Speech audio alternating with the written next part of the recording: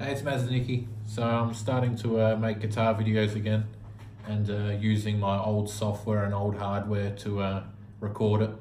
And I'm just uh, practicing at the moment. I'm not quite there yet. Um, but yeah, I hope you enjoy these videos and uh, I hope you keep playing your guitar and keep jamming. Thank you.